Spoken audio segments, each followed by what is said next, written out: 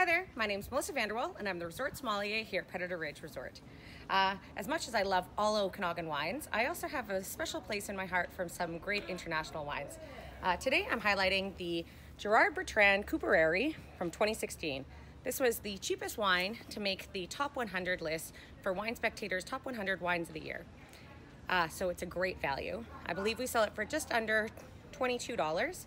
It's a Grenache Syrah Mourvedre, which is more romantically and nicely said is a GSM. So you hear that uh, term used a lot. It's from the south of France. You're gonna get really beautiful cherry, plum, a little hint of vanilla.